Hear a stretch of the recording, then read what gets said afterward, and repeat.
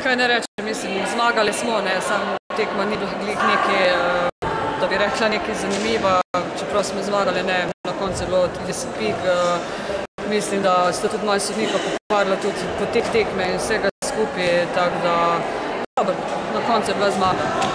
Kljub samo začeli ste zelo dobro, že v prvi četrtini vodili za 15 oziroma 16 točk, potem pa kot da ste se s tem zadovoljili. Je težko igrati take tekme?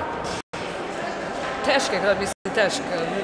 Po eni strani je težko igrati, po eni strani ni težko. Ne. Ja, vendar, recimo, če pravim, recimo, glede na potek, ne bom se nikoli zgovarjala na sodnike, ne, ampak če potek tekme tak, recimo, da ne vem, na eni strani sodi, na eni strani ne sodi, je tudi to lahko pride do prelomnice, ne tekme. Tako da lahko rečem, mislim, tekma kot tekma je bila ta, kot vse te tekme, ki niso neke zanimive. Ne.